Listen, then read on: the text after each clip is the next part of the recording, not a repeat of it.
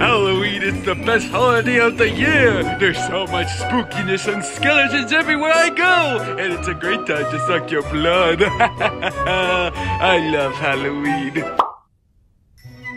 Oh my god! Is it Christmas already? Oh my god!